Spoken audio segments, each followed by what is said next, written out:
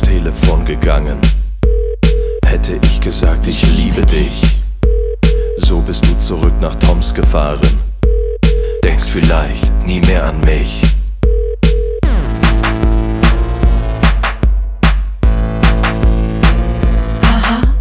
Hättest du André verlassen, wäre ich gekommen mit dem Lader.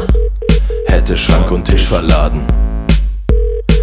Die Sache wäre wunderbar klar.